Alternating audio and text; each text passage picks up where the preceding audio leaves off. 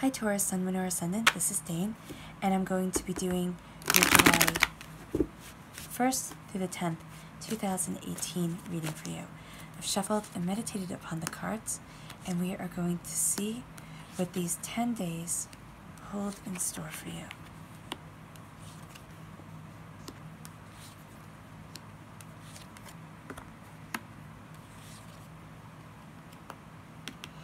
There you are, Taurus, Sun, Moon, or Ascendant.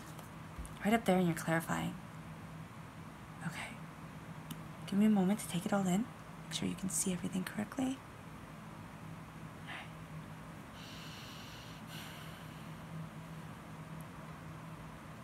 All right, Taurus.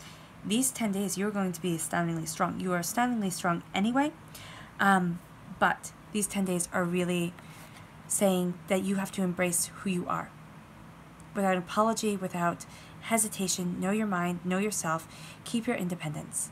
All right? That is going to how that is going to be how you progress with positivity and abundance at your center. Okay? Because you have the Queen of Swords who is kind of a badass, to be honest with you guys. You have the King of Pentacles and you have the Emperor. Okay? Three really, really, really strong cards, and the High Priestess, four really, really strong cards right here showing perseverance of self, clarity of self. The Queen of Swords can also represent a Libra, an Aquarius, or a Gemini, but it's also a very strong card. It's saying to know your mind. It has a weapon here with the sword. She's also the only queen to be wearing chainmail. You see that on her headdress. This is the Llewellyn Tarot deck for any of you who are interested. And this is just saying that by keeping your independence, by keeping that clarity of self, you are moving forward in prosperity and you have to keep yourself free in order to let yourself fly and achieve your goals Taurus, Sun, Moon, or Ascendant because you're having a rebirth of self. Right? The Death card is the only card with a halo behind it. If you can see that, there we go. The Death card is a dying away of the old self and a rebirth of the new. Half the dogs are looking back at the spiritual realm, half the dogs are moving forward. This is saying to Trust in yourself and trust in your intuition. You've gone through a transformation of self, Taurus, Sun, Moon, or Ascendant, and now you're learning how to move forward in prosperity, in abundance, in understanding, and in joy. Because the old you has died away and the new you has been reborn. This is also saying that, yeah, something big has happened, it's going to happen. Okay? It doesn't have to be big for everybody else, it just has to be significant for you. Taurus, Sun, Moon, or Ascendant, in order to sit there and make you look at things and say, huh, you know what, I would be happier if this makes me feel more at peace if, fill in the blanks however you want, Taurus, Sun, Moon, or Ascendant.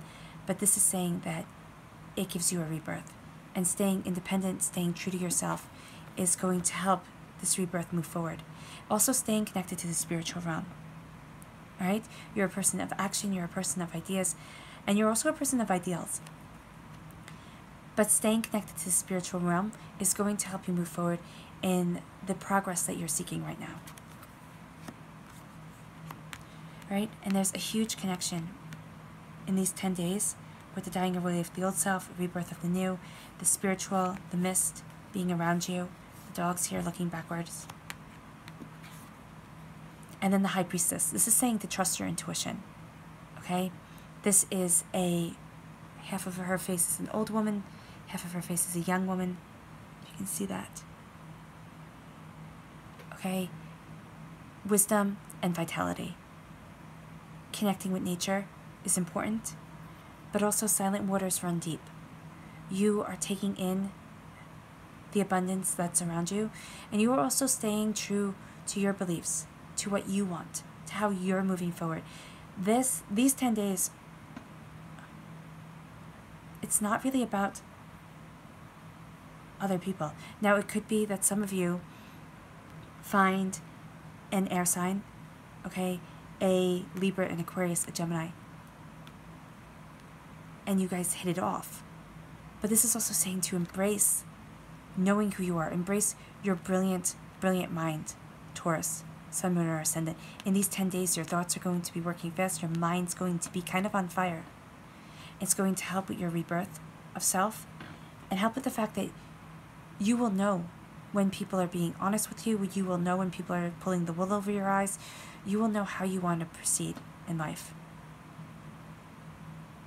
These 10 days are going to give you a bit more clarity. I'm not saying that in these 10 days everything's going to become clear and your whole realm of existence is going to ring through like a bell.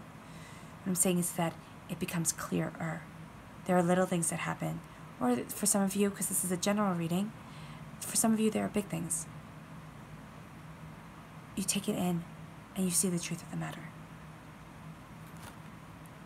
You know what you want. You know your wisdom. You have your cauldron of plenty right here, which is filled with all the best things to make you wise and prosperous. Taurus, Sun, Moon, or Ascendant. And you're embracing it. You're embracing your wisdom. You're also embracing your evolution of self with the crescent moon, which turns into a full moon, which turns into a new moon. So you're understanding the secular nature of life and you're knowing that you are moving forward in a way that is just and right for you. And things are happening quickly. Okay, you're going to sit there and you're going to see changes happen around you, whether it be personal changes, whether it be romantic changes, whether it be work changes. And again, it doesn't have to be big. This is a general reading, which means that each of you has to take it in for yourself, digest it, and see how it rings true. Also, look at your sun, moon, and your ascendant sign, your sun sign, and your ascendant sign. But here, there's majesty. The stags here are a symbol of royalty. The wands, their movement. Things are moving quickly, and you're taking it all in. You're digesting it and seeing how does it affect me? How should I react? There's a time where you need to step back. There's a time where you need to take it in, you need to digest things, you need to sit there and contemplate and understand the messages that you were given. And when you open your eyes, you are going to see the blessings before you. Don't forget to look in unexpected places, places for your blessings, Taurus, Sun, Moon, or Ascendant, because they're coming. And they are bringing you light and joy and happiness. But there is a time during these 10 days where you're going to feel as if, like, okay, enough is enough. I need to just regroup, recenter, and take it all in. And that's what you're going to do. You might even feel as if you're out in the cold a bit, you're you're you're a bit lonely when you have to take everything in, you have to find this understanding. Know that you're not alone. This is love. This is blessings. This is spiritual abundance. That's here for you, Taurus, Sun, or Ascendant. And when you open your eyes and you see it all, you have the Seven of Cups, which is love, peace, flexibility of mind and spirit, prosperity of home, wealth, something you value as much as money, courage, victory, transformation. You've gone through a transformation of self. And now you're seeing all these blessings start to come in. And it doesn't mean that within 10 days you're going to have an overwhelming amount of blessings. Some of you might, but it doesn't seem quite logical to sit there and say everything's going to happen within 10 days and your whole life is going to be changed. No, but they're going, it's going to start to manifest. You're going to take it in and things are going to start to change.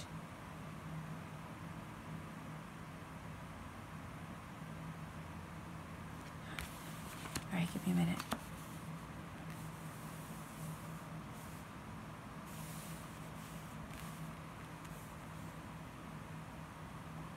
Yeah, it's a small change, but it's saying here with the Eight of Wands, there's change coming into your life. You're going to have to take it all in, see how you want to react, but it's going to happen quickly around you, and then you're going to react to it.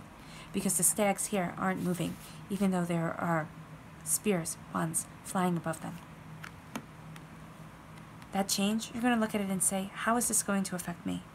This change could involve another person, again, an air sign, or somebody who embodies an air sign, a Libra, an Aquarius, a Gemini somebody who's very strong. But there's going to be a time here where there's change and you know your own mind. You know what you want. You know that this change is giving you freedom of self, letting your wings, spreading your wings and flying. Having mental clarity, knowing your mind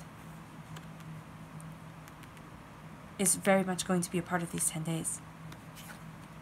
Spiritually, knowing and seeing people for who they truly are, Taurus, Sun, Moon, or Ascendant. Trust your gut because feminine energy is coming in, it's guiding you slowly, gently. But this is all about justice and truth. Seeing the heart of a person, not just the facade that that person wants you to see. And this is because you have gone through a transformation of self, a rebirth of self, an embracing of self that you might not have done before. And because of all of these changes that are happening, you're going to have to feel you're going to feel as if you have to rest. You're going to feel as if you need to take time. You need to take it all in. When you open your eyes, you'll see your blessings. Don't forget to look in unexpected places because you're going to get an abundance of blessings. And if you're not looking for it and if you hide away, you're going to miss it. So keep your eyes open. It doesn't have to be something big. Everybody always thinks of life changing events happening. And sometimes the smallest things can set the course of a whole entire day or a whole entire week. Kind words, a person saying thank you, can really lift the heart and change the spirit and start to make it so that you see blessings instead of negativity.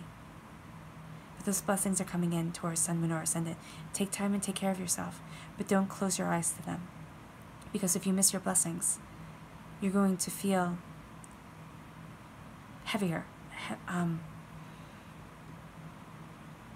less, you're going to have less joy come into your life, right? If you keep your eyes closed to the blessings. But if you open your eyes and know that you're seeing the truth of the matter, know that things are happening for a reason, taking it all in, but trusting yourself. This is about trusting yourself, Taurus, Sun, Moon, or Ascendant, because you have the Emperor here. Strength, dignity, wisdom. As I always say, he's either wise Solomon or reckless Nero, who plays his fiddle as Rome burns. And you see how the King of Pentacles echoes the Emperor the reds and the browns and the golds. You are learning to embrace yourself. You are learning to embrace your abundance. You're sitting there and saying, Yes, there has been sorrow in my life. There's sorrow in everybody's life. You learn from it, you grow richer. And you're sitting there and you're saying, My feet are firmly planted on the ground like a good Taurian, and I am moving forward in life, in my existence, in my love, the way that I wanted. I am manifesting on this earthly plane what I desire. My fruits of my labor are paying off. You go from being a king to being an emperor. This is about moving forward in the way that is the most prosperous, the most abundant, and the most right. I don't know if that's correct English, but the best for you. And that's what you are doing, Taurus, Sun, or Ascendant. Strength, abundance, embracing yourself and embracing what you want from life, not settling and keeping your eyes open to the blessings that come. Knowing your mind. Your mind is going to be so sharp these 10 days. Okay? Trust yourself. Trust yourself and trust the transformation of your spirit. Trust your intuition you are manifesting beauty and abundance in your life. You are embracing your strength and your triumphs, and you are moving forward in victory. All right, Taurus, Sun, Moon, or Ascendant, I hope this reading resonated with you. I wish you nothing but light, love, peace, and happiness. Bye.